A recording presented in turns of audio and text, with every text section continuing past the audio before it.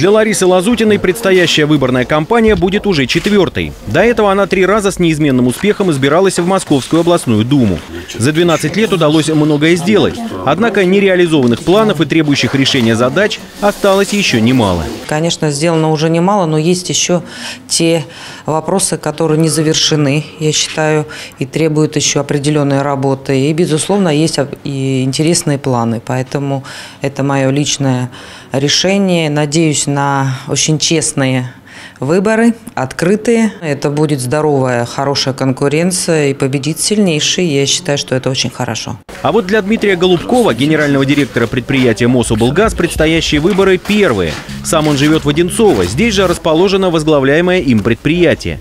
Поэтому решение выдвигаться от Одинцовского района вполне логично. Дмитрий Аркадьевич рассматривает участие в праймерис как отличную возможность реализовать свой практический опыт теперь и в сфере реальной политики. Наше общество и государство, экономика постоянно развиваются, прогрессируют. Эти вызовы, которые нам бросает время, безусловно, требуют своевременной реакции со стороны всех э, линий власти. И те задачи, которые ставят перед собой руководство области в лице губернатора Воробьева, те задачи, которые ставят перед предприятием, перед экономикой, они, безусловно, требуют э, грамотного профессионального реагирования и принятия правильных э, процедур на уровне не только субъектов экономической деятельности, но и различных органов, и в том числе депутатского корпуса. Прием документов и регистрация участников предварительного голосования Всероссийской политической партии «Единая Россия» завершится 15 апреля.